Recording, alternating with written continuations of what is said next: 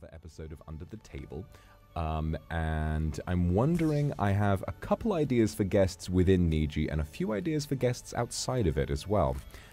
Obviously, uh, do not go to any person I mention as a prospective guest and sort of ask them to, to, to do it because if they choose not to, that's like for them. Uh, but uh, two people I would like to get on right now that I've got uh, my eyes on are Doppio and Millie. Uh, so we'll see. We'll see. Roku, thank you very much. Swing, thank you. Ah! Why'd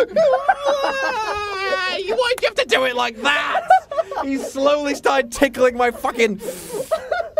tickling my fucking waist. You cunt, what's wrong with you?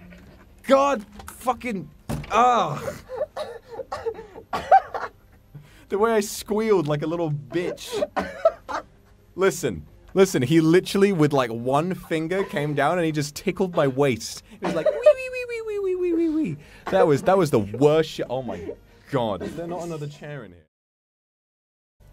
God damn. My headphones have turned the wrong way now. What the fuck is that? There it is. What the fuck is that? I already know you motherfuckers are gonna clip the sound of me squealing like a fucking child. Oh god.